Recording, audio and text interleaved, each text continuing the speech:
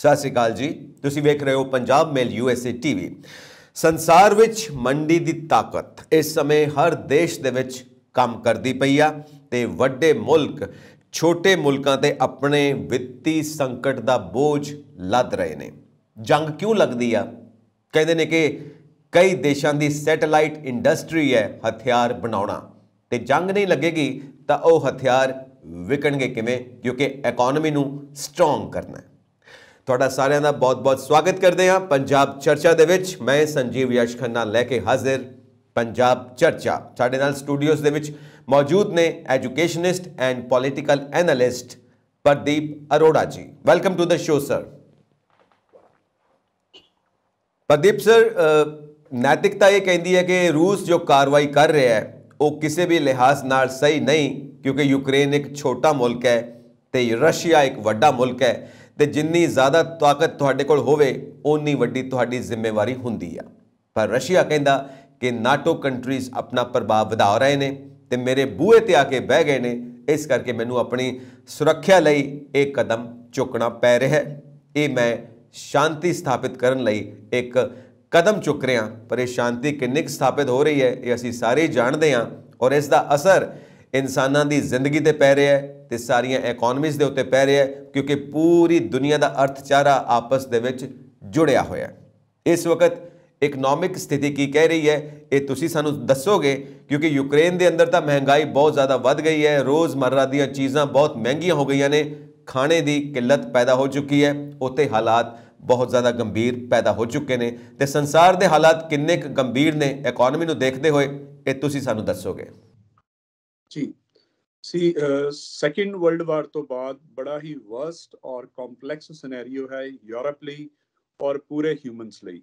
ਜੀ। ਤੋਂ ਸਾਡਾ ਦਿਲ ਜਿਹੜਾ ਹੈ ਉਹ ਯੂਕਰੇਨ ਦੇ ਲੋਕਾਂ ਲਈ ਬੜਾ ਹੀ ਬਚੈਨ ਹੈ ਕਿਉਂਕਿ ਇਹ ਉਹਨਾਂ ਲਈ ਬੜਾ ਹੀ ਡਰਾਵਨਾ ਮਜ਼ਰ ਹੈ ਜਿਸ ਦੀ ਭਰਪਾਈ ਨਹੀਂ ਹੋ ਸਕਦੀ ਹੈ ਔਰ ਉਹ ਇੱਕ ਬਹੁਤ ਹੀ ਬੁਰੀ ਸਿਚੁਏਸ਼ਨ ਤੋਂ ਗੁਜ਼ਰ ਰਹੇ ਹੈ।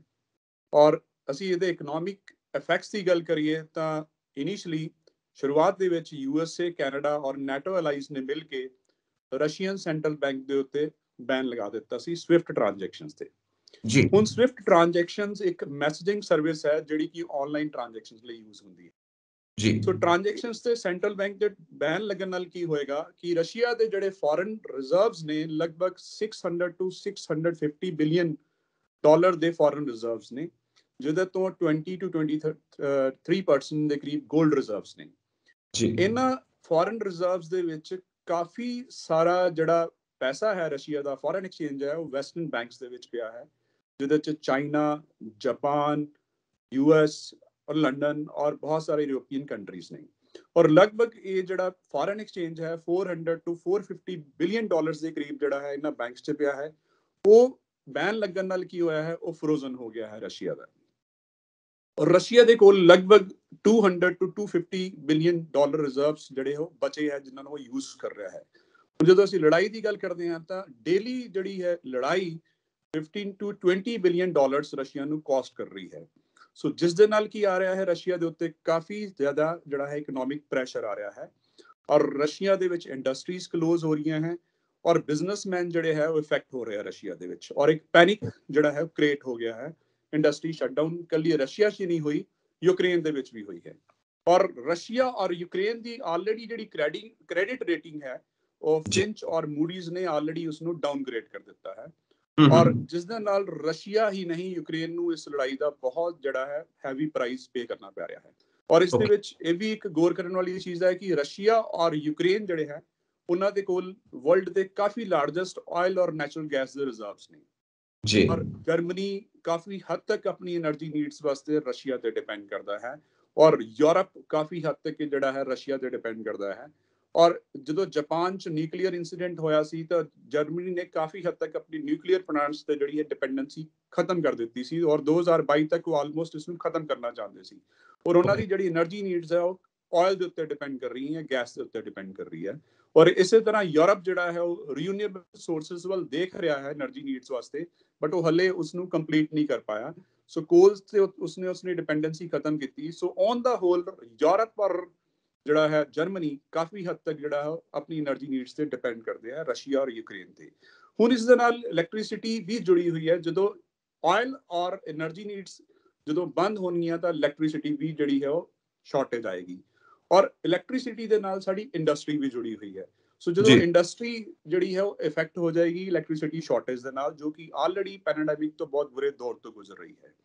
ਸੋ ਰਸ਼ੀਆ ਦੇ ਨਾਲ ਔਰ ਯੂਕਰੇਨ ਦੇ ਨਾਲ 에ਅਰ ਸਪੇਸਸ ਆਲਰੇਡੀ ਬੰਦ ਹੋ ਚੁੱਕੀ ਹੈ। ਟਰਾਂਸਪੋਰਟ ਮੈਕੈਨਿਜ਼ਮ ਕਲੋਜ਼ ਹੋ ਗਿਆ ਹੈ। ਯੂਕਰੇਨ ਦਾ ਜਿਹੜਾ ਹੈ ਪੋਰਟ ਹੈ ਉਹ ਵੀ ਕਲੋਜ਼ ਹੋ ਗਿਆ ਹੈ। ਔਰ ਜਿਹਦੇ ਨਾਲ ਪੂਰੇ ਵਰਲਡ 'ਚ ਸਪਲਾਈ ਚੇਨ ਮੈਨੇਜਮੈਂਟ ਜਿਹੜੀ ਹੈ ਇਫੈਕਟ ਹੋ ਗਈ ਹੈ। ਔਰ ਕਰੂਡ ਆਇਲ ਜਿਸ ਤਰ੍ਹਾਂ ਕਿ ਅਸੀਂ ਆਲਰੇਡੀ ਗੱਲ ਕੀਤੀ ਸੀ ਕਰੂਡ ਆਇਲ 68 ਡਾਲਰ ਤੋਂ ਲੈ ਕੇ 120 billion sorry 20 dollars per barrel ਦੇ ਕਰੀਬ ਚਲਾ ਗਿਆ ਹੈ। ਰਾਈਟ ਸਰ ਔਰ ਔਰ ਪੋਰਟ ਬੰਦ ਹੋਣ ਨਾਲ ਕੀ ਹੋਇਆ ਹੈ? 에ਅਰ ਕਾਰਗੋਸ ਬੰਦ ਹੋ ਗਏ ਹੈ ਔਰ ਸ਼ਿਪਸ ਜਿਹੜੇ ਨੇ ਜਾਂ ਕਾਰਗੋ ਕੰਪਨੀਆਂ ਨੇ ਜਿਹੜੀਆਂ ਨੇ ਉਹਨਾਂ ਨੂੰ ਲੌਂਗ ਰੂਟ ਤੋਂ ਜਿਹੜਾ ਹੈ ਏਸ਼ੀਆ ਵੱਲ ਔਰ ਯੂਰਪ ਵੱਲ ਜਾਣਾ ਪੈ ਰਿਹਾ ਹੈ। ਜਿਸ ਦੇ ਨਾਲ 2 ਤੋਂ 3 ਦਿਨ ਦੀ ਸਪਲਾਈ ਜਿਹੜੀ ਹੈ ਉਹ ਡਿਲੇ ਹੋ ਗਈ ਹੈ। ਔਰ ਡਿਸਰਪਟ ਹੋ ਗਈ ਹੈ ਔਰ 30 ਤੋਂ 40% ਫ੍ਰੇਟ ਚਾਰजेस ਜਿਹੜੇ ਹੋ ਇਨਕਰੀਜ਼ ਹੋ ਗਏ ਹੈ। ਸੋ ਜਿਸ ਦੇ ਨਾਲ ਜਿਹੜਾ ਹੈ ਕਿਉਂਕਿ ਪੋਰਟਸ ਹੈ ਸ਼ਿਪ ਔਰ 에ਅਰ ਕਾਰਗੋ ਦੇ through agriculture raw material chemicals iron steel paper so automobiles electronics ਜਿਹੜੇ ਹੈ ਇਹ ਸਾਰੀ ਸਪਲਾਈ ਜਿਹੜੀ ਹੈ ਪੂਰੇ ਵਰਲਡ ਦੇ ਵਿੱਚ ਜਿਹੜੀ ਹੈ ਇਫੈਕਟ ਹੋਣ ਜਾ ਰਹੀ ਹੈ ਡਿਊ ਟੂ ਦਾ ਕਾਰਗੋ ਡਿਲੇਜ਼ ਸੋ ਜਿਸ ਦੇ ਨਾਲ ਸ਼ਾਰਟੇਜ ਆਫ ਸੈਮੀਕੰਡਕਟਰਸ ਵੀ ਆਏਗੀ ਪੂਰੇ ਯੂਰਪ ਔਰ ਏਸ਼ੀਆ ਦੇ ਵਿੱਚ ਸੈਮੀਕੰਡਕਟਰ ਜਿਹੜੀ ਪ੍ਰੋਡਕਸ਼ਨਸ ਹੈ ਉਹ ਕਾਫੀ ਹੱਦ ਤੱਕ ਰਸ਼ੀਆ ਦੇ ਥਰੂ ਆਉਂਦੀ ਹੈ ਔਰ ਇਸ ਦੇ ਵਿੱਚ ਇੱਕ ਹੋਰ ਪੈਰਾਮੀਟਰ ਹੈ ਸਾਡੇ ਕੋਲ ਨਾਈਟ੍ਰੋਜਨ ਬੜਾ ਇੰਪੋਰਟੈਂਟ ਫੈਕਟਰ ਹੈ ਰਸ਼ੀਆ ਜਿਹੜਾ ਹੈ ਉਹ ਨਾਈਟ੍ਰੋਜਨ ਦੀ ਪ੍ਰੋਡਕਸ਼ਨ ਕਰਦਾ ਹੈ ਜਿਹੜੀ ਕਿ ਫਰਟੀਲਾਈਜ਼ਰ ਦੇ ਵਿੱਚ ਅਮੋਨੀਆ ਦੀ ਫਾਰਮ ਦੇ ਵਿੱਚ ਫਰਟੀਲਾਈਜ਼ਰ ਦੇ ਵਿੱਚ ਯੂਜ਼ ਹੁੰਦੀ ਹੈ ਉਸ। ਫਰਟੀਲਾਈਜ਼ਰਸ ਦੇ ਉੱਤੇ ਪੂਰੇ ਵਰਲਡ ਦੀ ਜਿਹੜੀ ਹੈ ਐਗਰੀਕਲਚਰ ਨੀਡਸ ਡਿਪੈਂਡ ਕਰਦੀਆਂ ਨੇ ਹੂੰ ਔਰ ਸਾਡਾ ਇੰਡੀਆ ਵੀ ਜਿਹੜਾ ਹੈ ਉਹ ਫਰਟੀਲਾਈਜ਼ਰਸ ਕਾਫੀ ਹੱਦ ਤੱਕ ਆਪਣੇ ਐਗਰੀਕਲਚਰ ਦੇ ਵਿੱਚ ਯੂਜ਼ ਕਰਦਾ ਹੈ। ਚਾਈਨਾ ਨੇ ਆਲਰੇਡੀ ਫਾਸਫੇਟ ਫਾਸਫੂਡ ਜਿਹੜਾ ਹੈ ਫਾਸਫੇਟ ਫਰਟੀਲਾਈਜ਼ਰਸ ਨੂੰ ਬੈਨ ਕਰ ਦਿੱਤਾ ਹੈ ਉਹਦਾ ਐਕਸਪੋਰਟ ਰਸ਼ੀਆ ਨੇ ਨਾਈਟ੍ਰੋਜਨ ਦਾ ਐਕਸਪੋਰਟ ਬੈਨ ਕਰ ਦਿੱਤਾ ਹੈ, ਜਿਸ ਦੇ ਨਾਲ ਫਰਟੀਲਾਈਜ਼ਰਸ ਦੀ ਸਪਲਾਈ ਜਿਹੜੀ ਹੈ ਉਹ ਇਫੈਕਟ ਹੋ ਜਾਏਗੀ। So agriculture industry is going to affect so ਇਹਦੇ ਨਾਲ ਐਗਰੀਕਲਚਰ ਵੀ ਇਫੈਕਟ ਹੋਣ ਜਾ ਰਹੀ ਹੈ।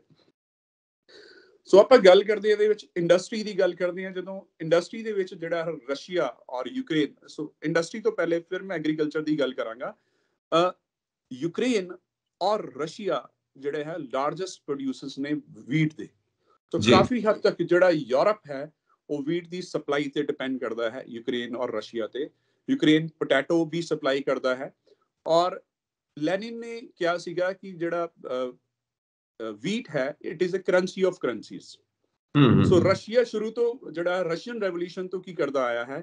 ਸ਼ਾਰਟੇਜ ਆਫ ਜਿਹੜਾ ਹੈ ਵੀਟ ਕਰਦਾ ਆਇਆ ਹੈ ਔਰ ਜਦੋਂ ਉਸ ਨੂੰ ਬੈਨ ਕਰ ਦਿੰਦਾ ਐਕਸਪੋਰਟ ਜਦੋਂ ਵਰਲਡ ਦੇ ਪ੍ਰਾਈਸਸ ਇਨਕਰੀਜ਼ ਹੋ ਜਾਂਦੇ ਤਾਂ ਬੈਨ ਨੂੰ ਖੋਲ ਦਿੰਦਾ ਸੀ। ਸੋ ਰਸ਼ੀਆ ਸੋ ਇਹਦੇ ਨਾਲ ਕੀ ਹੋਏਗਾ? ਜਿਹੜੀਆਂ ਬਹੁਤ ਸਾਰੀ ਕੰਟਰੀਜ਼ ਲਾਈਕ ਪਾਕਿਸਤਾਨ ਹੈ ਟਰਕੀ ਹੈ ਉਹ ਜਿਹੜਾ ਹੈ ਵੀਟ ਦੇ ਉੱਤੇ ਜਿਹੜਾ ਹੈ ਡਿਪੈਂਡ ਕਰਦੀਆਂ ਹੈ ਰਸ਼ੀਆ ਦੇ ਉੱਤੇ। ਸੋ ਵੀਟ ਦੇ ਨਾਲ ਬਹੁਤ ਸਾਰੀ ਕੰਟਰੀਜ਼ ਦੀ ਜਿਹੜੀ ਗਵਰਨਮੈਂਟ ਵੀ ਟਿਕੀ ਹੋਈ ਹੈ ਨੈਚੁਰਲੀ ਵੀਟ ਦੇ ਪ੍ਰਾਈਸਸ ਪੂਰੇ ਵਰਲਡ 'ਚ ਜਿਹੜੇ ਹੈ ਇਹਨਾਂ ਕੰਟਰੀਜ਼ ਦੇ ਉੱਤੇ ਇਨਕਰੀਜ਼ ਹੋਣਗੇ। ਜਿਹਦੇ ਨਾਲ ਕੀ ਹੋਏਗਾ ਇੰਟਰਨਲ ਜਿਹੜੀ ਹੈ ਅਨਸਟੇਬਿਲਿਟੀ ਉਹਨਾਂ ਗਵਰਨਮੈਂਟ ਦੇ ਵਿੱਚ ਆਉਣ ਦੇ ਚਾਂਸਸ ਹੈ। ਸੋ ਜੀ ਜੀ ਜੀ। ਹੁਣ ਆਪਾਂ ਇੰਡਸਟਰੀ ਦੀ ਗੱਲ ਕਰਦੇ ਹਾਂ ਜਿਹੜਾ ਰਸ਼ੀਆ ਹੈ ਉਹ ਲਾਰਜੈਸਟ ਪ੍ਰੋਡਿਊਸਰ ਹੈ ਰੀਅਰ ਅਰਥ ਮੈਟਲਸ ਦਾ। ਉਹਦੇ ਵਿੱਚ ਐਲੂਮੀਨੀਅਮ ਨਿਕਲ ਟਾਈਟੇਨੀਅਮ ਆ ਜਾਂਦੇ ਹੈ। ਸੋ ਐਲੂਮੀਨੀਅਮ ਜਿਹੜਾ ਹੈ ਉਹ ਕੈਨਸ ਦੇ ਵਿੱਚ ਯੂਜ਼ ਹੁੰਦਾ ਹੈ ਆਟੋਮੋਬਾਈਲਸ ਇੰਡਸਟਰੀ ਦੇ ਵਿੱਚ ਐਲੂਮੀਨੀਅਮ ਯੂਜ਼ ਹੁੰਦਾ ਹੈ। ਸੋ ਐਲੂਮੀਨੀਅਮ ਦੀ ਸ਼ਾਰਟੇਜ ਆ ਜਾਏਗੀ ਕਿਉਂਕਿ ਰਸ਼ੀਆ ਦੇ ਉੱਤੇ ਬੈਨ ਲੱਗ ਗਿਆ ਹੈ। ਸੋ ਜਿਹਦੇ ਨਾਲ ਕੀ ਹੋਏਗਾ ਐਲੂਮੀਨੀਅਮ ਪ੍ਰਾਈਸਸ ਇਨਕਰੀਜ਼ ਹੋਣਗੇ, ਜਿਹਦੇ ਨਾਲ ਆਟੋਮੋਬਾਈਲਸ ਜਿਹੜਾ ਹੈ ਉਹ ਕਾਸਟਲੀ ਹੋ ਜਾਏਗਾ ਔਰ ਐਲੂਮੀਨੀਅਮ ਬੇਸਡ ਪ੍ਰੋਡਕਟਸ ਜਿਹੜੀਆਂ ਕਾਸਟਲੀ ਹੋ ਜਾਣਗੀਆਂ। ਸੋ ਇਸ ਤੋਂ ਇਲਾਵਾ ਨਿਕਲ ਦੀ ਗੱਲ ਕੀਤੀ ਹੈ। ਨਿਕਲ ਜਿਹੜਾ ਹੈ ਉਹ ਬੈਟਰੀਜ਼ ਦੀ ਮੇਕਿੰਗ ਵਾਸਤੇ ਯੂਜ਼ ਹੁੰਦਾ ਹੈ। ਸੋ ਆਟੋਮੋਬਾਈਲ ਇੰਡਸਟਰੀ ਜਿਹੜੀ ਹੈ ਉਹ ਬੈਟਰੀ ਉੱਤੇ ਡਿਪੈਂਡ ਕਰਦੀ ਹੈ। ਸੋ ਬੈਟਰੀਜ਼ ਜਿਹੜੀਆਂ ਕਾਸਟਲੀ ਹੋਣਗੀਆਂ ਤਾਂ ਆਟੋਮੋਬਾਈਲ ਇੰਡਸਟਰੀਜ਼ ਨੂੰ ਨਏ ਅਲਟਰਨੇਟਿਵਸ ਦੇ ਵੱਲ ਦੇਖਣਾ ਪਏਗਾ ਬੈਟਰੀਜ਼ ਦੇ ਵਾਸਤੇ। ਔਰ ਰਸ਼ੀਆ ਔਰ ਯੂਕਰੇਨ ਜਿਹੜੇ ਹੈ ਉਹ ਲਾਰਜੈਸਟ ਪ੍ਰੋਡਿਊਸਰਸ ਨੇ ਇੰਡਸਟਰੀ ਗੈਸਸ ਦੇ ਵਿੱਚ ਵੀ। ਇੰਡਸਟਰੀ ਗੈਸਸ ਜਿਹੜੀਆਂ ਨੇ ਉਹ ਸੈਮੀਕੰਡਕਟਰ ਮੇਕਿੰਗ ਦੇ ਵਿੱਚ ਯੂਜ਼ ਹੁੰਦੀਆਂ ਨੇ। ਰਾਈਟ ਸਰ ਸੈਮੀਕੰਡਕਟਰਸ ਜਿਹੜੇ ਨੇ ਉਹ ਡਾਇਰੈਕਟਲੀ ਯੂਜ਼ ਹੁੰਦੇ ਨੇ ਮੋਬਾਈਲ ਫੋਨਸ ਦੇ ਵਿੱਚ। ਲੈਪਟਾਪਸ ਦੇ ਵਿੱਚ ਕੰਪਿਊਟਰਸ ਦੇ ਵਿੱਚ ਐਲਈਡੀਜ਼ ਦੇ ਵਿੱਚ। ਸੋ ਸੈਮੀਕੰਡਕਟਰਸ ਦੀ ਸ਼ਾਰਟੇਜ ਆਏਗੀ ਤਾਂ ਨੈਚੁਰਲੀ ਜਿਹੜੇ ਸਾਡੇ ਐਵਲ ਇਲੈਕਟ੍ਰੋਨਿਕਸ ਪ੍ਰੋਡਕਟ ਜਿਹੜੇ ਆ ਕਾਸਟਲੀ ਹੋ ਜਾਣਗੇ। ਰਸ਼ੀਆ ਇਸ ਤੋਂ ਇਲਾਵਾ ਇੱਕ ਮੈਟਲ ਹੋਰ ਪ੍ਰੋਡਿਊਸ ਕਰਦਾ ਹੈ ਪੈਲੇਡੀਅਮ ਜੀ ਜੀ। ਇਹ ਇਲੈਕਟ੍ਰੋਡਸ ਮੇਕਿੰਗ ਮੈਨੂਫੈਕਚਰਿੰਗ ਦੇ ਵਿੱਚ ਯੂਜ਼ ਹੁੰਦੀ ਹੈ ਜਿਹਦੇ ਨਾਲ ਬੈਟਰੀਜ਼ ਫਿਰ ਅਗੇਨ ਕਾਸਟਲੀ ਹੋਣ ਦੇ ਚਾਂਸਸ ਹੈ। ਯੂਕਰੇਨ ਇੱਕ ਟਾਈਪ ਯੂਕਰੇਨ ਜਿਹੜਾ ਹੈ ਉਹ ਇੱਕ ਪ੍ਰੋਡਿਊਸਰ ਹੈ ਟਾਈਟੇਨੀਅਮ ਦਾ। तो ਟਾਈਟੇਨੀਅਮ ਜਿਹੜਾ ਹੈ ਉਹ 에ਅਰਕ੍ਰਾਫਟ ਮੈਨੂਫੈਕਚਰਿੰਗ ਵਾਸਤੇ ਯੂਜ਼ ਹੁੰਦਾ ਹੈ ਜਿਵਲਰੀਜ਼ ਮੈਨੂਫੈਕਚਰਿੰਗ ਵਾਸਤੇ ਯੂਜ਼ ਹੁੰਦਾ ਹੈ ਔਰ ਕਾਫੀ ਹੱਦ ਤੱਕ ਰੈਕਟਸ ਵੀ ਬੰਦੇ ਨੇ। ਸੋ ਇਹ ਸਾਰੀਆਂ ਪ੍ਰੋਡਕਟਸ ਜਿਹੜੀਆਂ ਨੇ ਕਾਸਟਲੀ ਹੋ ਜਾਣਗੀਆਂ due to this war so on the whole industry ਦੇ ਉੱਤੇ ਕਾਫੀ ਹੱਦ ਤੱਕ ਪ੍ਰੈਸ਼ਰ ਆਏਗਾ। Inflation on the whole increase ਹੋਣ ਦੇ ਚਾਂਸਸ ਨੇ ਇਹਦੇ ਨਾਲ। ਅਸੀਂ ਇੰਡੀਅਨ ਪਰਸਪੈਕਟਿਵ ਦੇ ਵਿੱਚ ਗੱਲ ਕਰਾਂਗੇ ਤਾਂ ਇੰਡੀਆ ਦੇ ਵਿੱਚ ਫਰਟੀਲਾਈਜ਼ਰ ਦੇ ਸ਼ਾਰਟੇਜ ਹੋਣ ਦੇ ਚਾਂਸਸ ਹੈ। ਇੰਡੀਆ ਦੇ ਵਿੱਚ ਪੇਪਰਸ ਕਾਸਟਲੀ ਹੋ ਜਾਣਗੇ ਕੋਲ ਕਾਸਟਲੀ ਹੋ ਜਾਏਗਾ। ਔਰ ਮੋਰ ਓਵਰ ਜਿਹੜਾ ਹੈ ਇੰਡੀਆ ਆਪਣੀ એનર્ਜੀ ਨੀਡਸ ਦੇ ਵਿੱਚ ਜਿਹੜਾ ਹੈ ਅਰਬੀਅਨ ਕੰਟਰੀਜ਼ ਤੇ ਡਿਪੈਂਡ ਕਰਦਾ ਹੈ। ਸੋ ਨੈਚੁਰਲੀ ਜਦੋਂ ਯੂਰਪ ਦੇ ਵਿੱਚ ਸ਼ਾਰਟੇਜ ਆਏਗੀ ਤਾਂ ਉਹ ਜਿਹੜਾ ਹੈ ਆਰਬੀਅਨ ਕੰਟਰੀਜ਼ ਤੋਂ ਕਰੂਡ ਆਇਲ ਔਰ એનર્ਜੀ ਨੀਡਸ ਦੇ ਵੱਲ ਦੇਖਣਾ ਸ਼ੁਰੂ ਕਰਨਗੇ। ਸੋ ਜਿਹਦੇ ਨਾਲ ਜਿਹੜਾ ਹੈ ਸਾਡਾ ਇੰਡੀਆ ਦਾ ਵੀ ਜਿਹੜਾ ਹੈ ਕਰੂਡ ਆਇਲ ਔਰ એનર્ਜੀ ਨੀਡਸ ਜਿਹੜੀਆਂ ਨੇ ਅਫੈਕਟ ਹੋਣ ਦੇ ਚਾਂਸਸ ਹੈ। ਯਾ ਉਹਦਾ ਹੋਲ ਇਹਦੇ ਪੂਰੇ ਵਰਲਡ ਦੇ ਉੱਤੇ ਕਾਫੀ ਜਿਹੜੇ ਹੈ ਇੰਪੈਕਟ ਆਉਣ ਦੇ ਚਾਂਸਸ ਹੈ ਸਰ ਜਦੋਂ ਤੋਂ ਇਹ ਓਪਨ ਮਾਰਕੀਟ ਇਕਨੋਮੀ ਸ਼ੁਰੂ ਹੋਈ ਹੈ ਪੂਰੀ ਦੁਨੀਆ ਦੇ ਵਿੱਚ ਇਹ ਪੂਰੀ ਦੀ ਪੂਰੀ ਦੁਨੀਆ ਸੈਂਸੈਕਸ ਬਣ ਚੁੱਕੀ ਆ ਕਿ ਕਦੋਂ ਉੱਪਰ ਜਾਏਗੀ ਮਾਰਕੀਟ ਕਦੋਂ ਥੱਲੇ ਆਏਗੀ ਮਾਰਕੀਟ ਔਰ 2004 ਤੋਂ ਹੀ ਯੂਕਰੇਨ ਦੀ ਜੋ ਇਕਨੋਮੀ ਹੈ ਕਾਫੀ ਜ਼ਿਆਦਾ ਸ਼ੈਟਰਡ ਆ। ਅਸੀਂ ਦੇਖਦੇ ਹਾਂ ਕਿ ਇਹ ਫੋਰਨ ਤੋਂ ਜਿਹੜੇ ਕਰਜ਼ੇ ਲੈਣੇ ਨੇ ਉਹਦੇ ਉੱਤੇ ਕਾਫੀ ਜ਼ਿਆਦਾ ਡਿਪੈਂਡ ਕਰਦਾ ਹੈ। ਇਸ ਕਰਕੇ ਇਸ ਵਕਤ ਉਹਨਾਂ ਦੇ ਹੱਥਾਂ ਦੀ ਕਟਪੁਤਲੀ ਬਣਿਆ ਹੋਇਆ। ਇਹ ਨਾਰਮਲ ਕੰਡੀਸ਼ਨਸ ਨਹੀਂ ਹੈਗੀਆਂ ਡਿਮਾਂਡ ਐਂਡ ਸਪਲਾਈ ਦੀਆਂ ਕਿ ਜਿਹਦੇ ਵਿੱਚ ਤੁਸੀਂ ਡਿਮਾਂਡ ਨੂੰ ਇਨਕਰੀਜ਼ ਕਰ ਸਕਦੇ ਹੋ। ਕਿਸੇ ਵੀ ਤਰ੍ਹਾਂ ਦਾ ਇੱਕ ਮੁਹਿੰਮ ਸ਼ੁਰੂ ਕਰਕੇ ਇੱਕ ਓਪੀਨੀਅਨ ਸ਼ੁਰੂ ਕਰਕੇ ਇੱਕ ਪ੍ਰੋਪੇਗੈਂਡਾ ਸ਼ੁਰੂ ਕਰਕੇ ਜਿਸ ਨਾਲ ਤੁਸੀਂ ਸਪਲਾਈ ਨੂੰ ਕੰਟਰੋਲ ਕਰਕੇ ਉਹਦੀ ਪ੍ਰਾਈਸ ਹਾਈਕ ਨੂੰ ਕੰਟਰੋਲ ਕਰ ਸਕਦੇ ਹੋ ਜਾਂ ਉਹਨੂੰ ਡਾਊਨ ਲੈ ਕੇ ਜਾ ਸਕਦੇ ਹੋ। ਇੱਕ ਸਪੈਸ਼ਲ ਕੰਡੀਸ਼ਨ ਹੈ ਕਿਉਂਕਿ ਵਾਰ ਦੀ ਕੰਡੀਸ਼ਨ ਹੈ ਤੁਹਾਨੂੰ ਯਾਦ ਹੋਏਗਾ ਕਿ ਜਦੋਂ ਅਮਰੀਕਾ ਦੇ ਉੱਤੇ ਹਮਲਾ ਹੋਇਆ ਸੀ ਦੋਵੇਂ ਜੋ ਟਾਵਰਸ ਟੁੱਟੇ ਸੀ ਉਸ ਦੇ ਜਿਸ ਤੋਂ ਸਾਰਾ ਬਿਜ਼ਨਸ ਕੰਟਰੋਲ ਹੁੰਦਾ ਸਾਰੀ ਸ਼ੇਅਰ ਮਾਰਕੀਟ ਕੰਟਰੋਲ ਹੁੰਦੀ ਹੈ ਤੇ ਉਦੋਂ ਵੀ ਐਕਸਪਰਟਸ ਕਹਿੰਦੇ ਸੀ ਕਿ ਸੋਨੇ ਦੀ ਕੀਮਤ ਦੇ ਵਿੱਚ ਉਛਾਲ ਆਏਗਾ ਤੇ ਕਰੰਸੀ ਟੁੱਟੇਗੀ। ਅੱਜ ਵੀ ਉਹੀ ਹਾਲਾਤ ਨੇ। ਅਸੀਂ ਦੇਖਦੇ ਹਾਂ ਕਿ ਕਰੰਸੀ ਸ਼ੈਟਰਡ ਆ ਔਰ ਰਸ਼ੀਆ ਦੀ ਸ਼ੇਅਰ ਮਾਰਕੀਟ ਜਿਹੜੀ ਹੈ 40% ਡਾਊਨ ਜਾ ਚੁੱਕੀ ਹੈ 골ਡ ਪ੍ਰਾਈਸ ਅਪ ਆ ਚੁੱਕੇ ਨੇ। ਸੋ ਇਹ ਟੋਟਲ ਜਿਹੜੀ ਕੰਡੀਸ਼ਨ ਆ ਅਸੀਂ ਦੇਖਦੇ ਹਾਂ ਕਿ ਕਾਫੀ ਜ਼ਿਆਦਾ ਕਨਫਿਊਜ਼ਿੰਗ ਹੈ ਕਿਉਸ ਪੈਦਾ ਹੋ ਚੁੱਕਾ ਹੈ ਇਸ ਦੇ ਵਿੱਚ। ਸੋ ਇਸ ਸਾਰੀ ਚੀਜ਼ ਨੂੰ ਦੇਖਦੇ ਹੋਏ ਆਇਲ ਦੇ ਉੱਤੇ ਤੁਸੀਂ ਜਾਣਦੇ ਹੋ ਇਹਦੇ ਉੱਤੇ ਇਫੈਕਟ ਪੈ ਰਿਹਾ ਹੈ। ਐਗਰੀਕਲਚਰ ਸੈਕਟਰ ਤੇ ਵੀ ਇਫੈਕਟ ਪਏਗਾ ਇੰਡਸਟਰੀਅਲ ਸੈਕਟਰ ਤੇ ਵੀ ਇਫੈਕਟ ਪਏਗਾ, ਜਿਹਦੇ ਨਾਲ ਜੋ ਸਰਵਿਸਿਜ਼ ਨੇ ਉਹਨਾਂ ਤੇ ਵੀ ਇਫੈਕਟ ਪਏਗਾ, ਹੋ ਸਕਦਾ ਹੈ ਰੋਜ਼ਗਾਰ ਦੇ ਉੱਤੇ ਵੀ ਇਫੈਕਟ ਪਵੇ। ਇਹ ਤੇ ਟੋਟਲ ਇਕਨੋਮੀ ਸ਼ੈਟਰਡ ਹੋਣ ਦੀਆਂ ਗੱਲਾਂ ਚੱਲ ਰਹੀਆਂ ਨੇ। ਪਰ ਪ੍ਰਦੀਪ ਜੀ, ਇਹ ਉਹ ਬਬਲ ਵਾਲੀ ਕੰਡੀਸ਼ਨ ਨਹੀਂ ਹੈ ਕਿ ਬਬਲ ਫਟੇਗਾ ਤੇ ਸਾਰਾ ਕੁਝ ਤਬਾਹ ਹੋ ਸਕਦਾ ਪੂਰੀ ਇਕਨੋਮੀ ਜਿਵੇਂ ਸੈਕੰਡ ਵਰਲਡ ਵਾਰ ਤੋਂ ਬਾਅਦ ਕਲੈਪਸ ਹੋਈ ਸੀ, ਉਸ ਤਰ੍ਹਾਂ ਹੋ ਸਕਦੀ ਹੈ। ਉਸ ਤਰ੍ਹਾਂ ਦੀ ਕੰਡੀਸ਼ਨ ਤੇ ਨਹੀਂ ਹੈ, ਕਿਉਂਕਿ ਹਜੇ ਨਿਊਕਲੀਅਰ ਵੈਪਨਸ ਇਸਤੇਮਾਲ ਨਹੀਂ ਹੋਏ ਨਿਊਕਲੀਅਰ ਯੁੱਧ ਦੀ ਹਜੇ ਕੋਈ ਵੀ ਇਸ ਤਰ੍ਹਾਂ ਦੀ ਤੁਸੀਂ ਸਮਝਦੇ ਹੋ, ਖਤਰੇ ਵਾਲੀ ਗੱਲ ਮਹਿਸੂਸ ਨਹੀਂ ਹੋ ਰਹੀ, ਫਿਰ ਵੀ ਕਾਫੀ ਕੰਟਰੋਲਡ ਆ।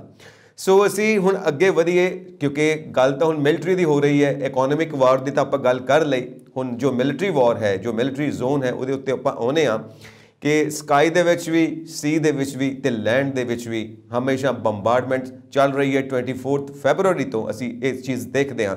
ਸੋ ਫਿਊਚਰ ਕੀ ਲੱਗਦਾ ਤੁਹਾਨੂੰ ਇਸ ਵਾਰ ਦਾ? ਕਿਉਂਕਿ ਅਲਟੀਮੇਟਲੀ ਤੇ ਟੇਬਲ ਤੇ ਆਉਣਾ ਹੀ ਪਏਗਾ। ਸੋ ਯੈਸ ਨਾਟੋ ਕੀ ਕਰੇਗਾ? ਤੇ ਇੱਧਰ ਜਿਹੜੀ ਯੂਰੋਪੀਅਨ ਯੂਨੀਅਨ ਹੈ ਉਹ ਕੀ ਕਰੇਗੀ ਤੇ ਰਸ਼ੀਆ ਆਪਣੇ ਅਲਾਈਐਂਸਸ ਦੇ ਨਾਲ ਕੀ ਕਰੇਗਾ ਤੇ ਯੂਕਰੇਨ ਜੋ ਇਸ ਵਕਤ ਨਿਸ਼ਾਨਾ ਬਣਿਆ ਹੋਇਆ ਉਹਦਾ ਕੀ ਹਸ਼ਰ ਹੋਣਾ ਹੈ? ਸਰ ਇਹਦੇ ਵਿੱਚ ਕਾਫੀ ਹੱਦ ਤੱਕ ਮਲਟੀਪਲ ਸਿਨੈਰੀਓਜ਼ ਨੇ ਇਸ ਦੇ ਵਿੱਚ। ਸੋ ਆਪਾਂ ਸਿਨੈਰੀਓ ਵਾਈਜ਼ ਅਗਰ ਗੱਲ ਕਰਦੇ ਹਾਂ ਤਾਂ ਸਿਨੈਰੀਓ 1 ਨੂੰ ਅਸੀਂ ਕੰਸੀਡਰ ਕਰਕੇ ਚੱਲਦੇ ਹਾਂ। ਤਾਂ ਨੈਟੋ ਜਿਹੜਾ ਹੈ ਉਹ ਡਾਇਰੈਕਟਲੀ ਸਪੋਰਟ ਨਹੀਂ ਕਰਦਾ ਯੂਕਰੇਨ ਨੂੰ ਉਹ ਵੈਪਨਸ ਦਿੰਦਾ ਹੈ ਇਨਡਾਇਰੈਕਟਲੀ ਲੌਜਿਸਟਿਕ ਸਪਲਾਈ ਦਿੰਦਾ ਹੈ ਜੋ ਕਿ ਆਲਰੇਡੀ ਨੈਟੋ ਸ਼ੁਰੂ ਕਰ ਚੁੱਕਿਆ ਹੈ ਤੋਂ ਕੀ ਹੋਏਗਾ ਇਹਦੇ ਨਾਲ ਕੀ ਹੋਏਗਾ ਲੜਾਈ ਲੰਬੀ ਚਲਦੀ ਜਾ ਰਹੀ ਹੈ ਸੋ ਸਟ੍ਰੈਚ ਹੁੰਦੀ ਜਾ ਰਹੀ ਹੈ ਜੋ ਰਸ਼ੀਆ ਨੇ ਇਨੀਸ਼ੀਅਲੀ ਸੋਚਿਆ ਸੀ ਕਿ ਉਹ ਜਲਦੀ ਕਬਜ਼ਾ ਕਰ ਲਏਗਾ ਪਰ ਉਹ ਕਰ ਨਹੀਂ ਪਾ ਰਿਹਾ ਹੈ ਔਰ ਰਸ਼ੀਆ ਨੂੰ ਕੀ ਹੋਏਗਾ ਯੂਕਰੇਨ ਦੀ ਮਿਲਟਰੀ ਤੋਂ ਵੀ ਰੈਜ਼ਿਸਟੈਂਸ ਮਿਲ ਰਹੀ ਹੈ ਔਰ ਸਿਵਿਲੀਅਨ ਤੋਂ ਵੀ ਰੈਜ਼ਿਸਟੈਂਸ ਮਿਲ ਰਹੀ ਹੈ ਔਰ ਇਸ ਦੇ ਨਾਲ ਕੀ ਹੋਏਗਾ ਅਲਟੀਮੇਟਲੀ ਚਾਂਸਸ ਹੈ ਕਿ ਇੱਕ ਸਟੇਲਮੇਟ ਕੰਡੀਸ਼ਨਸ ਆ ਜਾਏ ਔਰ ਵਾਰ ਸਟ੍ਰੈਚਿੰਗ ਹੋਣ ਨਾਲ ਕੀ ਹੋਏਗਾ ਔਰ ਰਸ਼ੀਆ ਪ੍ਰੈਜ਼ੀਡੈਂਟ ਪੁਟਿਨ ਜਿਹੜਾ ਹੈ ਉਹ ਇੰਟਰਨਲ ਹੋ ਸਕਦਾ ਜਿਹੜਾ ਰਸ਼ੀਆ ਦੇ ਵਿੱਚ ਇੰਟਰਨਲ ਇੱਕ ਕਹ ਲੋ ਕਿ ਲੋਕ ਜਿਹੜੇ ਹੋ ਪਰੇਸ਼ਾਨ ਹੋ ਕੇ ਰਸ਼ੀਆ ਦੇ ਵਿੱਚ ਵੀ ਵਿਦਰੋਹ ਕਰ ਸਕਦੇ ਹੈ ਔਰ ਹੋ ਸਕਦਾ ਹੈ ਕਿਉਂਕਿ ਵਰਲਡ ਨੇ ਕਾਫੀ ਸੈਂਕਸ਼ਨਸ ਰਸ਼ੀਆ ਤੇ ਲਗਾ ਦਿੱਤੀਆਂ ਹੈ ਔਰ ਇਕਨੋਮਿਕ ਕਲੈਪਸ ਹੋਣ ਦੇ ਚਾਂਸਸ ਹੈ ਰਸ਼ੀਆ ਦੇ ਡਿਪਲੋਮੈਟਿਕ ਆਈਸੋਲੇਸ਼ਨਸ ਹੋ ਚੁੱਕੀ ਹੈ ਤੋ ਚਾਂਸਸ ਸਿਨੈਰੀਓ 1 ਦੇ ਵਿੱਚ ਇਹ ਹੈ ਕਿ ਹੋ ਸਕਦਾ ਹੈ ਸਟ੍ਰੈਚਿੰਗ ਆਫ ਵਾਰ ਦੇ ਵਿੱਚ ਰਸ਼ੀਆ ਆਪਣੇ ਟਰੂਪਸ ਨੂੰ ਵਿਡਰਾ ਕਰੇ ਜਿਹਦੇ ਕਿ ਚਾਂਸਸ ਕਰੰਟ ਸਿਨੈਰੀਓ 'ਚ ਘੱਟ ਨਜ਼ਰ ਆ ਰਿਹਾ ਸਾਡੇ ਕੋਲ ਕਿਉਂਕਿ ਰਸ਼ੀਆ ਅੱਗੇ ਵੱਧਦਾ ਜਾ ਰਿਹਾ ਹੈ। ਔਰ ਸੈਕਿੰਡ ਸਿਨੈਰੀਓ ਇੱਕ ਕੁਐਗਮਾਇਰ ਜਿਹਨੂੰ ਆਪਾਂ ਦਲਦਲ ਕਹਿੰਦੇ ਹਾਂ। ਸੋ ਰਸ਼ੀਆ ਲਗਭਗ ਇੱਕ ਦਲਦਲ ਦੇ ਵਿੱਚ ਫਸਦਾ ਜਾ ਰਿਹਾ ਹੈ। ਔਰ ਸਪੋਜ਼ ਕਰਦੇ ਹਾਂ ਕਿ ਕਾਫੀ ਲੰਬੀ ਲੜਾਈ ਤੋਂ ਬਾਅਦ ਰਸ਼ੀਆ ਜਿਹੜਾ ਹੈ ਉਹ ਯੂਕਰੇਨ ਦੇ ਉੱਤੇ ਜਿਹੜਾ ਹੈ ਕਬਜ਼ਾ ਕਰ ਲੈਂਦਾ ਹੈ। ਔਰ ਯੂਕਰੇਨ ਦੇ ਉੱਤੇ ਆਪਣੀ ਇੱਕ ਪਪਟ ਗਵਰਨਮੈਂਟ ਜਿਹੜੀ ਹੈ ਉਹ ਜਿਹੜੀ ਹੈ ਬਣਾ ਦਿੰਦਾ ਹੈ। ਔਰ ਜਿਸ ਦੇ ਨਾਲ ਜਿਸ ਦੇ ਬਾਵਜੂਦ ਵੀ ਜਿਹੜੇ ਰਸ਼ੀਅਨ ਯੂਕਰੇਨੀਅਨ ਲੋਕ ਜਿਹੜਾ ਹੈ ਔਰ ਆਰਮੀ ਉਸ ਨੂੰ ਐਕਸੈਪਟ ਨਹੀਂ ਕਰਦੀ ਹੈ ਔਰ ਉਸ ਦੇ ਨਾਲ ਕੀ ਹੋਏਗਾ ਰਸ਼ੀਅਨ ਯੂਕਰੇਨ ਦੇ ਲੋਕ ਜਿਹੜੇ ਹੈ ਰਿਵੋਲਟ ਕਰਦੇ ਹੈ ਔਰ ਆਰਮੀ ਜਿਹੜੀ ਹੈ ਯੂਕਰੇਨ ਦੀ ਇਨਸਰਜੈਂਸੀਸ ਕ੍ਰੀਏਟ ਕਰ ਦਿੰਦੀ ਹੈ। ਜਿਹਦੇ ਨਾਲ ਕੀ ਹੋਏਗਾ ਇੱਕ ਕਾਫੀ ਹੱਦ ਤੱਕ ਹਿਊਮਨ ਔਰ ਇਕਨੋਮਿਕ ਲਾਸ ਹੋਏਗਾ ਯੂਕਰੇਨ ਦੇ ਲੋਕਾਂ ਦਾ। ਔਰ ਇਹ ਇੱਕ ਤਰ੍ਹਾਂ ਦੀ ਰਸ਼ੀਆ ਦੀ ਇੱਕ ਗਲਤੀ ਹੋ ਜਾਏਗੀ, ਜਿਸ ਤਰ੍ਹਾਂ ਕਿ ਰਸ਼ੀਅਨ ਲੀਡਰ ਲਿਓਨਿਡ ਬ੍ਰੈਜ਼ਨੇਵ ਨੇ ਅਫਗਾਨਿਸਤਾਨ ਦੇ ਉੱਤੇ ਅਟੈਕ ਕਰਕੇ ਕੀਤਾ ਸੀਗਾ, ਜਿਸ ਨੂੰ ਕਿ ਬ੍ਰੈਜ਼ਨੇਵ ਮੂਵਮੈਂਟ ਕਿਹਾ ਜਾਂਦਾ ਹੈ। ਸੋ ਔਰ ਅਲਟੀਮੇਟਲੀ ਰਸ਼ੀਆ ਨੂੰ ਕਾਫੀ ਲਾਸਸ ਤੋਂ ਬਾਅਦ ਮਿਖਾਇਲ ਗੋਰਬਾਚੋਵ ਰਸ਼ੀਅਨ ਲੀਡਰ ਨੂੰ ਜਿਹੜਾ ਹੈ 1989 ਦੇ ਵਿੱਚ ਵਿਡਰਾ ਕਰਨਾ ਪੈ ਗਿਆ ਸੀ ਅਫਗਾਨਿਸਤਾਨ ਤੋਂ। ਸੋ ਚਾਂਸਸ ਇਹ ਵੀ ਹੋ ਸਕਦੇ ਹੈ ਕਿ ਇਸ ਪਪੇਟ ਗਵਰਨਮੈਂਟ ਫਾਰਮੇਸ਼ਨ ਦੇ ਬਾਅਦ ਕਾਫੀ ਲਾਸਸ ਤੋਂ ਬਾਅਦ ਰਸ਼ੀਆ ਨੂੰ ਜਿਹੜਾ ਹੈ ਵਿਡਰਾ ਕਰਨਾ ਪੈ ਜਾਏ ਯੂਕਰੇਨ ਤੋਂ। ਔਰ ਜਿਸ ਦੇ ਨਾਲ ਰਸ਼ੀਅਨ ਪ੍ਰੈਜ਼ੀਡੈਂਟ ਦੀ ਜਿਹੜੀ ਹੈ ਪ੍ਰੈਸਟੀਜ ਸਫਰ ਹੋਏਗੀ ਔਰ ਜਿਹੜਾ ਹੈ ਗਲੋਬਲ ਸਟੈਂਡਿੰਗ ਜਿਹੜੀ ਰਸ਼ੀਆ ਦੀ ਇਫੈਕਟ ਹੋਏਗੀ ਜੋ ਕਿ ਆਲਰੇਡੀ ਹੋ ਰਹੀ ਹੈ। ਸਿਨੈਰੀਓ 3 ਜਦੋਂ ਆਪਾਂ ਲੈ ਕੇ ਚੱਲਦੇ ਹਾਂ ਇੱਕ ਆਇਰਨ ਕਰਟਨ ਬਣ ਜਾਂਦਾ ਹੈ ਜਿਹੜਾ ਯੂਕਰੇਨ ਦਾ। ਟੋਟਲ ਅਸੀਂ ਕੰਸੀਡਰ ਕਰਦੇ ਹਾਂ ਕਲੈਪਸ ਹੋ ਜਾਂਦਾ ਹੈ। ਔਰ ਰਸ਼ੀਆ ਜਿਹੜਾ ਹੈ ਕਬਜ਼ਾ ਕਰਦਾ ਜਾ ਰਿਹਾ ਹੈ, ਕੀਪ ਤੱਕ ਪਹੁੰਚ ਰਿਹਾ ਹੈ ਔਰ ਰਸ਼ੀਆ ਜਿਹੜਾ ਯੂਕਰੇਨ ਦੇ ਉੱਤੇ ਟੋਟਲੀ ਕੰਟਰੋਲ ਕਰ ਲੈਂਦਾ ਹੈ ਥਰੂ ਆਪਣੀ ਆਰਮੀ ਔਰ ਹੈਵੀ ਆਰਮੀ ਦੇ ਥਰੂ ਕੰਟਰੋਲ ਕਰ ਲੈਂਦਾ ਹੈ। ਹੁਣ ਇਸ ਦੇ ਨਾਲ ਕੀ ਹੋਏਗਾ, ਰਸ਼ੀਆ ਜਿਹੜਾ ਹੈ ਉਹ ਬਾਲਟਿਕ ਸਟੇਟਸ ਜਿਹੜੀਆਂ ਨੇ ਪੋਲੈਂਡ ਹੈ ਸਲੋਵਾਕੀਆ ਹੈ ਹੰਗਰੀ ਹੈ ਰੋਮਾਨੀਆ ਦੇ ਬਾਰਡਰਸ ਦੇ ਉੱਤੇ ਡਾਇਰੈਕਟਲੀ ਪਹੁੰਚ ਜਾਏਗਾ। ਸੋ ਇਹ ਸਾਰੇ ਬਾਲਟਿਕ ਸਟੇਟਸ ਨਾਟੋ ਕੰਟਰੀ ਦਾ ਪਾਰਟ ਹੈ, ਜਿਸ ਜਿਸ ਦੇ ਨਾਲ ਕੀ ਹੋਏਗਾ ਨਾਟੋ ਔਰ ਰਸ਼ੀਆ ਹਮੇਸ਼ਾ ਲਈ ਇੱਕ ਲੰਬੀ ਜਿਹੜੀ ਹੈ ਵਾਰ ਟੂ ਵਾਰ ਸਿਚੁਏਸ਼ਨ ਦੇ ਉੱਤੇ ਆ ਜਾਣਗੇ ਔਰ ਇੱਕ ਦੂਸਰੇ ਦੇ ਨਾਲ ਜਿਹੜੀ ਹੈ ਵਾਰ ਫਰੰਟ ਦੇ ਉੱਤੇ ਰਹਿਣ ਦੇ ਚਾਂਸਸ ਹੈ ਔਰ ਇੱਕ ਪੀਸਫੁਲ ਰੈਜ਼ੋਲੂਸ਼ਨ ਨਹੀਂ ਹੋ ਪਾਏਗਾ ਇਸ ਤਰ੍ਹਾਂ। ਔਰ ਸਿਨੈਰੀਓ 4 ਜਿਹੜਾ ਹੈ ਜਿਹੜਾ ਕਿ ਚਾਂਸਸ ਹੈ ਜਿਹੜਾ ਇਹ ਰਸ਼ੀਆ ਹੈ ਉਹ ਪੀਸਸ ਕਰ ਦਿੰਦਾ ਯੂਕਰੇਨ ਦੇ ਸਪਲਿਟਿੰਗ ਹੋ ਜਾਂਦੀ ਹੈ।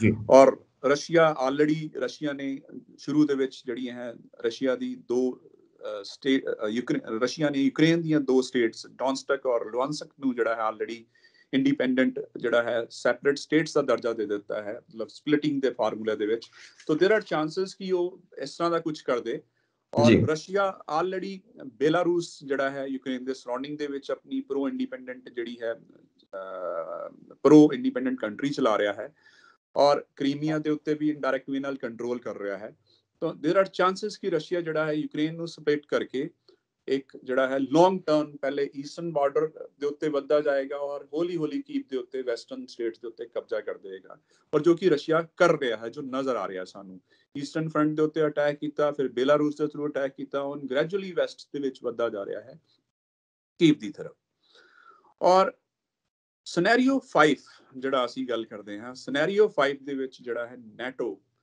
ਜਿਹੜਾ ਹੈ ਉਹ ਸਪੋਜ਼ ਕਰਦੇ ਹਾਂ ਸਪੋਜ਼ ਕਰਦੇ ਹਾਂ ਕਿ ਰਸ਼ੀਆ ਜਿਹੜਾ ਹੈ ਮਿਸਟੇਕਨਲੀ ਔਰ ਇੰਟੈਂਸ਼ਨਲੀ ਜਿਹੜਾ ਹੈ ਕਿਸੇ ਨੈਟੋ ਕੰਟਰੀ ਦੇ ਉੱਤੇ ਮਿਸਫਾਇਰ ਕਰ ਦਿੰਦਾ ਹੈ ਮਿਜ਼ਾਈਲ ਦੇ ਨਾਲ। ਸੋ ਜਿਹਦੇ ਨਾਲ ਕੀ ਹੋਏਗਾ ਕਿ ਨੈਟੋ ਕੰਟਰੀਜ਼ ਔਰ ਕਿਉਂਕਿ ਇੱਕ ਵੀ ਕੰਟਰੀ ਉੱਤੇ ਅਟੈਕ ਕੀਤਾ ਤਾਂ ਨੈਟੋ ਕੰਟਰੀਜ਼ ਔਰ ਯੂ ਜਿਹੜਾ ਹੈ ਮਿਲ ਕੇ ਰਸ਼ੀਆ ਦੇ ਉੱਤੇ ਸਟੇਟ ਆਫ ਵਾਰ ਦੇ ਵਿੱਚ ਆ ਜਾਣਗੇ ਚਾਂਸਸ ਹੈ। ਓ ਓ ਤੋ ਕਿਉਂਕਿ ਮਿਜ਼ਾਈਲ ਅਟੈਕ ਦੇ ਨਾਲ ਚਾਂਸਸ ਬਣ ਸਕਦੇ ਆ ਸੋ ਕਿ ਮਿਸਫਾਇਰ ਵੀ ਹੋ ਸਕਦਾ ਹੈ ਇੰਟੈਂਸ਼ਨਲੀ ਵੀ ਹੋ ਸਕਦਾ ਹੈ। ਸੋ ਉਹਦੇ ਨਾਲ ਐਸਕੇਲੇਸ਼ਨ ਦੇ ਚਾਂਸਸ ਵੱਧ ਜਾਣਗੇ ਨੈਟੋਸ ਦੇ ਔਰ ਰਸ਼ੀਆ ਦੇ ਵਿੱਚ। ਔਰ ਜਿਸ ਦੇ ਨਾਲ ਬੈਲਟਿਕ ਸਟੇਟਸ ਜਿਹੜੀਆਂ ਹੈ ਇਹ ਸਾਰੀਆਂ ਜਿਸ ਤਰ੍ਹਾਂ ਮੈਂ ਤੁਹਾਨੂੰ ਪੋਲੈਂਡ ਹੰਗਰੀ ਜਿਹੜਾ ਇੱਕ ਸਟੇਟ ਆਫ ਵਾਰ ਦੇ ਵਿੱਚ ਆਉਣ ਦੇ ਚਾਂਸਸ ਹੈ। ਔਰ ਪਰ ਆਪਾਂ ਜਦੋਂ ਲਾਸਟ ਦੇ ਵਿੱਚ ਗੱਲ ਕਰਦੇ ਹਾਂ ਤਾਂ ਵਾਰ ਦਾ ਕੋਈ ਪੋਸੀਬਲ ਆਊਟਕਮ ਜਿਹੜਾ ਹੈ ਨਹੀਂ ਹੁੰਦਾ ਹੈ। ਵਾਰ ਦੀ ਕੋਈ ਸਕ੍ਰਿਪਟ ਨਹੀਂ ਹੁੰਦੀ ਹੈ। ਜਦੋਂ ਵਾਰ ਸ਼ੁਰੂ ਹੋ ਜਾਂਦੀ ਹੈ ਕੋਈ ਸਕ੍ਰਿਪਟ ਰਾਈਟਿੰਗ ਨਹੀਂ ਹੁੰਦੀ ਹੈ ਤਾਂ ਨਾ ਹੀ ਕੋਈ ਪੋਸੀਬਲ ਆਊਟਕਮ ਸੋਲੂਸ਼ਨ ਹੁੰਦਾ ਹੈ। ਔਰ ਐਟ ਦਾ ਐਂਡ ਜਿਵੇਂ ਤੁਸੀਂ ਕਿਹਾ ਹੈ, ਇਹਨਾਂ ਕੰਟਰੀਜ਼ ਨੂੰ ਟੇਬਲ ਟਾਕਸ ਤੇ ਹੀ ਆਣਾ ਪੈਂਦਾ ਹੈ। ਔਰ ਜਿਹੜਾ ਕਿ ਅਮਰੀਕਾ ਵੀ ਪ੍ਰੈਸ਼ਰ ਕਰ ਰਿਹਾ ਹੈ ਰਸ਼ੀਆ ਨੂੰ ਕਿ ਉਹ ਆਪਣੀ ਟਰੂਪਸ ਵਿਡਰਾਲ ਕਰ ਲੇ, ਤਾਂ ਸੈਂਕਸ਼ਨਸ ਜਿਹੜੇ ਆ, ਉਹ ਇਕਨੋਮਿਕ ਸੈਂਕਸ਼ਨਸ ਰਸ਼ੀਆ ਦੇ ਉੱਤੇ ਜਿਹੜੇ ਆ ਜਿਹੜੇ ਆ ਉਹਨਾਂ ਨੂੰ ਰਿਮੂਵ ਕੀਤਾ ਜਾ ਸਕਦਾ ਹੈ। ਔਰ ਟੇਬਲ ਟਾਕ ਆਲਰੇਡੀ ਰਾਤ ਨੂੰ ਵੀ ਯੂਕਰੇਨ ਔਰ ਰਸ਼ੀਆ ਦੀ ਹੋਈ ਸੀ ਔਰ ਜਿਹਦੇ ਵਿੱਚ ਇਹ ਡਿਸੀਜਨ ਹੋਇਆ ਕਿ ਰਸ਼ੀਆ ਔਰ ਯੂਕਰੇਨ ਦੇ ਵਿੱਚ ਟੇਬਲ ਟਾਕ ਜਿਹੜੀ ਉਹ ਕੰਟੀਨਿਊਸ ਰਹੇਗੀ। ਸੋ ਹੋਪਫੁਲੀ ਅਸੀਂ ਦੁਆ ਕਰਦੇ ਹਾਂ ਕਿ ਇਹ ਟੇਬਲ ਟਾਕਸ ਹੋ ਜਾਏ, ਜਿਹਦੇ ਨਾਲ ਜਿਹੜਾ ਹਿਊਮਨ ਦਾ ਲਾਸਸ ਹੋ ਰਿਹਾ ਹੈ ਇਕਨੋਮਿਕ ਲਾਸਸ ਹੋ ਰਿਹਾ ਹੈ, ਜਿਹੜਾ ਇਸ ਨੂੰ ਖਤਮ ਕੀਤਾ ਜਾ ਸਕੇ। ਸੋ ਕਈ ਵਾਰ ਮੈਂ ਇਹ ਦੁਨੀਆ ਦਾ ਜੋ ਇਹ ਜੀਓ ਪੋਲਿਟਿਕਸ ਦੇਖਦਾ ਆਪਣੇ ਅਰੋੜਾ ਸਾਹਿਬ, ਤਾਂ ਮੈਂ ਕਈ ਵਾਰ ਸੋਚਦਾ ਕਿ ਮੈਨੂੰ ਲੀਓ ਟੋਲਸਟਾਈ ਦੀ ਉਹ ਕਹਾਣੀ ਯਾਦ ਆਉਂਦੀ ਆ how much land does a man need ਇੱਕ ਇਨਸਾਨ ਨੂੰ ਕਿੰਨੀ ਕੁ ਧਰਤੀ ਚਾਹੀਦੀ ਆ ਪੂਰੀ ਜ਼ਿੰਦਗੀ ਦੇ ਵਿੱਚ। ਛੋਟੀ ਜੀ ਧਰਤੀ ਦੇ ਵਿੱਚ ਉਹਨੇ ਸਮਾ ਜਾਣਾ ਜਦੋਂ ਉਹਨੇ ਇਸ ਦੁਨੀਆ ਤੋਂ ਜਾਣਾ ਪਰ ਜਦੋਂ ਤੱਕ ਦੁਨੀਆ ਤੇ ਰਹਿੰਦਾ ਤਾਂ ਦੇਖੋ ਕਿੰਨੀਆਂ ਸਮੱਸਿਆਵਾਂ ਪੈਦਾ ਹੋ ਜਾਂਦੀਆਂ ਨੇ ਇਸ ਇਨਸਾਨ ਕਾਰਨ। ਜਾਂਦੇ ਜਾਂਦੇ ਇੱਕ ਸਟੋਰੀ ਬੜਾ ਹੀ ਰੀਸੈਂਟ ਇੱਕ ਵੀਡੀਓ ਕਲਿੱਪ ਜਾਰੀ ਹੋਇਆ ਹੈ। ਯੂਕਰੇਨੀਅਨ ਇੱਕ ਲੇਡੀ ਰਸ਼ੀਅਨ ਸੋਲਜਰ ਨੂੰ ਸਨਫਲਾਵਰ ਸੀਡਸ ਦੇ ਰਹੀ ਹੈ। ਔਰ ਸਨਫਲਾਵਰ ਜਿਹੜਾ ਹੈ Ukraine is the largest producer ਔਰ ਨੈਸ਼ਨਲ ਫਲਾਵਰ ਵੀ ਹੈ। ਉਸ ਨੂੰ ਸੀਡ ਦੇ ਕੇ ਕਹਿ ਰਹੀ ਹੈ ਕਿ ਇਹ ਸੀਡਸ ਆਪਣੀ ਪਾਕਟ 'ਚ ਡਾਲ ਲੈ ਜਦੋਂ ਸਭ ਮਰ ਜਾਣਗੇ, ਰਸ਼ੀਅਨ ਸੋਲਜਰਸ ਵੀ ਯੂਕਰੇਨ ਦੀ ਧਰਤੀ ਤੇ, ਤਾਂ ਉਹਨਾਂ ਦੀ ਗ੍ਰੇਵਸ ਤੋਂ ਸਨਫਲਾਵਰਸ ਜਿਹੜੇ ਉਹ ਪੈਦਾ ਹੋਣਗੇ ਬਲੂਮ ਕਰਨਗੇ ਦੁਬਾਰਾ। ਸੋ ਇੱਕ ਬੜਾ ਹੀ ਉਹ ਇਮੋਸ਼ਨਲ ਦ੍ਰਿਸ਼ ਹੈ ਵੀਡੀਓ ਕਲਿੱਪ ਜਾਰੀ ਕੀਤਾ ਹੈ, ਪਿੱਛੇ ਤੁਸੀਂ ਦੇਖੋਗੇ।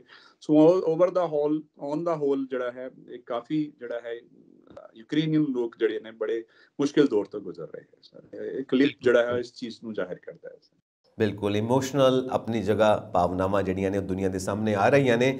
ਜਿਸ ਤਰ੍ਹਾਂ ਮੈਂ ਤੁਹਾਨੂੰ ਲੀਓ ਟੋਲਸਟੋਏ ਦੀ ਕਹਾਣੀ ਦੀ ਗੱਲ ਕੀਤੀ ਹੈ ਜਾਰਜ ਬਰਨਰਡ ਸ਼ੋ ਨੇ ਬੜੀ ਖੂਬਸੂਰਤ ਗੱਲ ਕਹੀ ਜੋ ਹਮੇਸ਼ਾ ਹੀ ਟੁਕਵੀਂ ਹੁੰਦੀ ਹੈ war is nothing but murder in uniform ਹੋਰ ਕੁਝ ਨਹੀਂ ਹੁੰਦੀ ਜੰਗ, ਤੁਸੀਂ ਵਰਦੀ ਪਾ ਕੇ ਇੱਕ ਇਨਸਾਨ ਦੂਜੇ ਇਨਸਾਨ ਨੂੰ ਕਤਲ ਹੁੰਦੇ ਹੋਏ ਦੇਖਦੇ ਹੋ ਕਤਲ ਕਰਦੇ ਹੋਏ ਦੇਖਦੇ ਹੋ।